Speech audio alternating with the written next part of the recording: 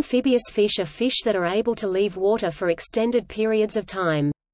About 11 distantly related genera of fish are considered amphibious. This suggests that many fish genera independently evolved amphibious traits, a process known as convergent evolution.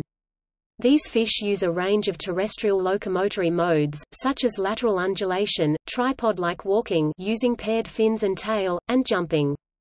Many of these locomotory modes incorporate multiple combinations of pectoral, pelvic and tail fin movement. Many ancient fish had lung-like organs, and a few, such as the lungfish, still do. Some of these ancient lunged fish were the ancestors of tetrapods. However, in most recent fish species these organs evolved into the swim bladders, which help control buoyancy. Having no lung-like organs, modern amphibious fish and many fish in oxygen-poor water use other methods such as their gills or their skin to breathe air. Amphibious fish may also have eyes adapted to allow them to see clearly in air, despite the refractive index differences between air and water.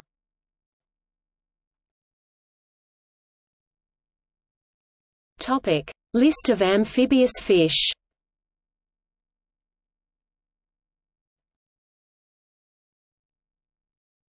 Topic: Lung breathers.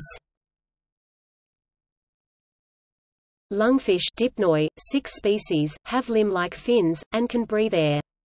Some are obligate air breathers, meaning they will drown if not given access to breathe air. Some species will bury in the mud when the body of water they live in dries up, surviving up to two years until water returns. Various other lunged Fish, now extinct, a few of this group were ancestors of the stem tetrapods that led to all tetrapods, Lissamphibia, sauropsids and mammals.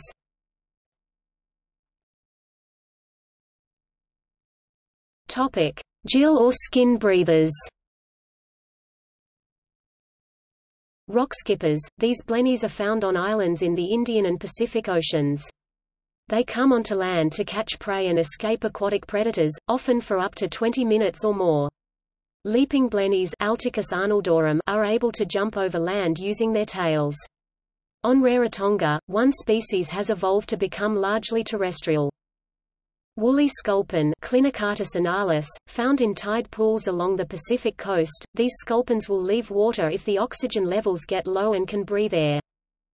Mudskippers this subfamily of gobies is probably the most land-adapted of fish.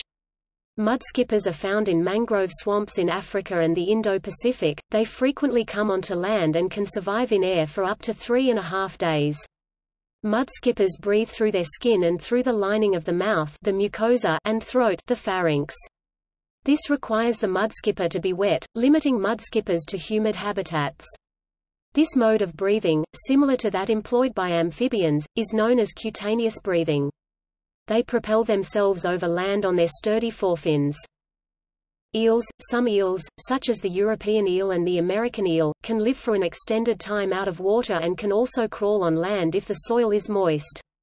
Swamp eels can absorb oxygen through their highly vascularized mouth and pharynx, and in some cases e.g., Monopterus rongsaw through their skin. The moray echidna catenata sometimes leaves the water to forage. Snakehead fish Channidae, this family of fish are obligate air breathers, breathing air using their suprabranchial organ, which is a primitive labyrinth organ.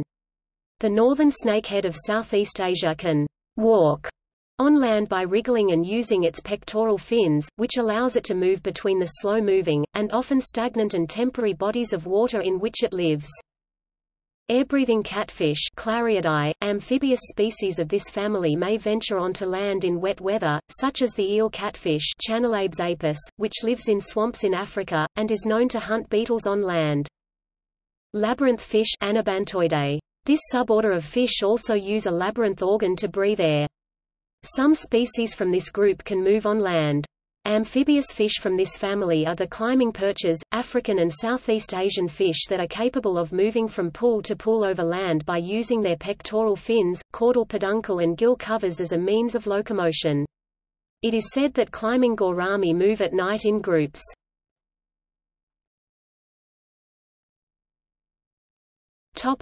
See also Walking fish List of semiaquatic tetrapods